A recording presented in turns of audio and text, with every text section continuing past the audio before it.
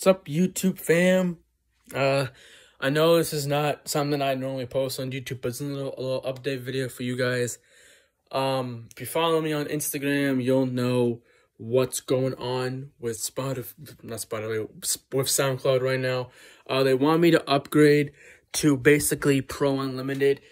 Me to want me to upgrade to Pro Unlimited, me to be able to put my music out there, and I don't know if I should or I will go back to YouTube and never upload to SoundCloud ever again.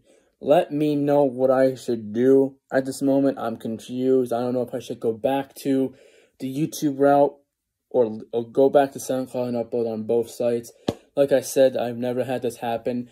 Normally it would be YouTube uploading, but since it's SoundCloud, I'm trying to get a lot of um trying to get a lot of um fan base. I've been doing this for about a year. I don't know what to do in this situation. So let me know what I should do in the comments section below. Um, I will see you guys later. Peace out.